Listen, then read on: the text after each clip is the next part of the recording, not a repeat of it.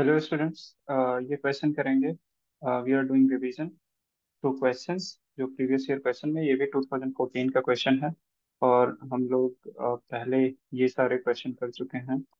Capacitor पे और uh, ये गैल्वेनोमीटर पे. ठीक है? और ये सिंपल से क्वेश्चन है. They are just checking maths from you I know you are not expected of knowing this much but ठीक है.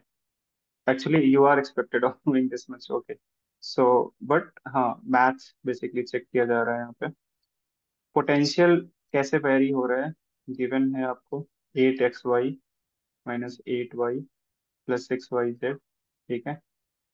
और इतना प्रैक्टिस में तो होता ही है फाइन आपको निकालना है कि एक अगर पोटेंशियल डिफरेंस पता है तो एक चार्ज है जो लोकेटेड है one comma one comma one three three D में। ये एक्स वाई जेड तो ये चार्ज कितना फोर्स फील करेगा, ठीक है? तो उसके लिए आपको पता होना चाहिए कि force is equal to force is a vector quantity into Q into E, ठीक है? ई भी इलेक्ट्रिक फ़ील्ड भी वेक्टर क्वांटिटी है। तो क्यू, इसको लिख सकते हो, टी कंपोनेंट्स क्या होंगे? E X, E Y plus E Z, ठीक है? तो ई एक्स, बेसिकली आपने ये पढ़ा होता है, equal to minus D V by D R लेकिन जब वो एक्स वाई जेड में आ जाता है तो यू स्टॉप थिंकिंग तो वहाँ पे सोचना है आपको, ऐसा नहीं करना है कि यू स्टॉप थिंकिंग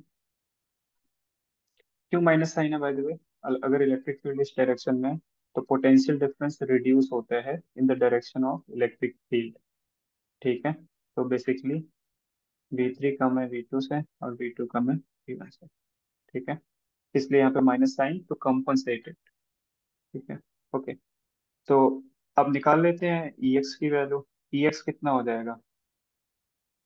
माइनस ये वन डी में आप पढ़ते हो, इसी को आपको थ्री डी में लेके आना है।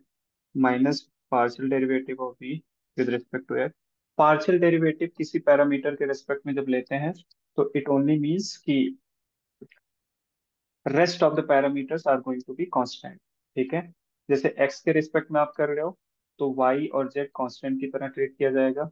Y के रिस्पेक्ट में पार्शियल डेरिवेटिव ले रहे हो तो एक्स और जेड एंड सो ऑन ठीक है? तो एक्स के रिस्पेक्ट में करो, यहाँ पे कितना आ जाएगा?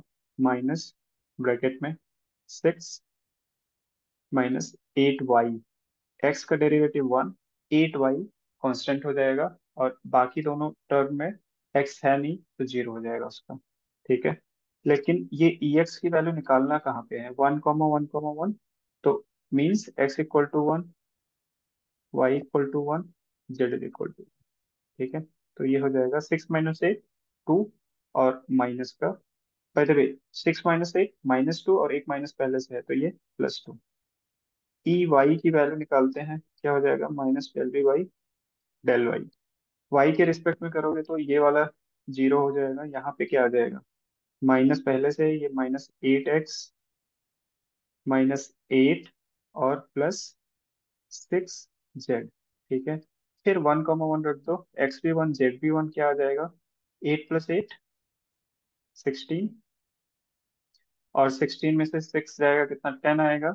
माइनस टेन आएगा और माइनस माइनस प्लस फिर से हो जाएगा। और ईजेड की वैल्यू क्या हो जाएगी? ये आपको देखना पड़ेगा यहाँ पे। ईजेड की value minus del B by del Z ये आ जाएगा। फ़र्स्ट थ्री टर्म ज़ीरो हो जाएँगे, लास्ट वाला बचेगा सिक्स वाई, ठीक है? ये कितना आ जाएगा? Minus six. तो आप फोर्स वाला ये टर्म याद रखो, ठीक है?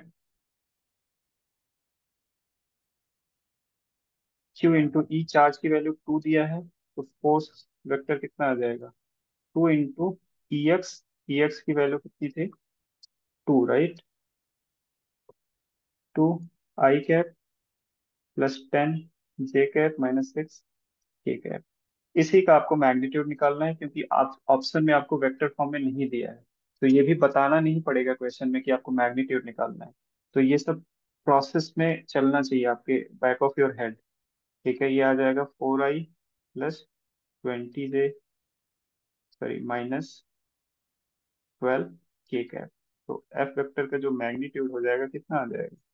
Sixteen plus four hundred plus one forty four.